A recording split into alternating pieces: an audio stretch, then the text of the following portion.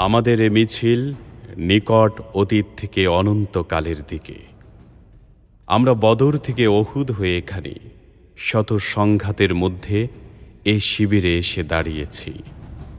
কে প্রশ্ন করে আমরা কোথায় যাব? আমরা তো বলেছি আমাদের যাত্রা অনন্তকালের। উদয় ও অস্তের ক্লান্তি আমাদের কোনোদিনই বিহবল করতে পারেনি। আমাদের দেহ ক্ষত বিক্ষত আমাদের রক্তে সবুজ হয়ে উঠেছিল মুতার প্রান্তর পৃথিবীতে যত গোলাপ ফুল ফোটে, তার লাল বর্ণ আমাদের রক্ত, তার সুগন্ধ আমাদের নিঃশ্বাস বায়ু।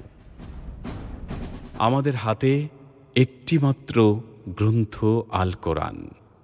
এই পবিত্র গ্রন্থ কোনোদিন কোনো অবস্থায় কোনো তৌহিদবাদীকে থামতে দেয়নি। আমরা কি করে থামি?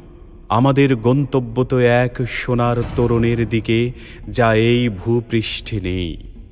আমরা আমাদের সঙ্গীদের চেহারার ভিন্নতাকে গ্রাহ্যের মধ্যে আনি না। কারণ আমাদের আত্মার গুঞ্জন হু হু করে বলে, আমরা এক আত্মা, এক প্রাণ। শহীদের চেহারার কোনো ভিন্নতা নেই। আমরা তো শাহাদাতের জন্যই মায়ের উদর থেকে পৃথিবীতে পা রেখেছি।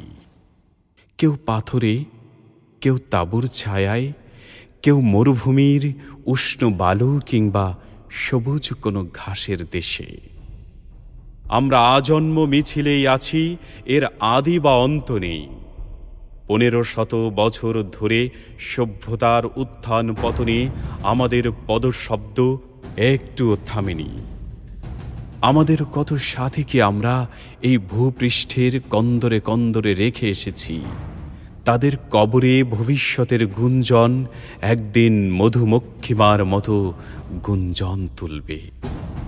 আমরা জানি, আমাদের ভয় দেখিয়ে শয়তান নিজেই অন্ধকারে পালিয়ে যায়। আমাদের মুখাবয়বে আগামী উষার উদয়কালের নরম আলোর ঝলকানি। আমাদের মিছিল ভয় ও ধ্বংসের মধ্যে বিশ্রাম নেয়নি, নেবে না।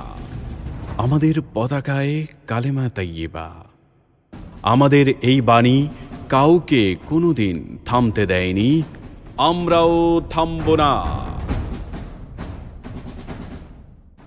Studio vocal and Islamic record level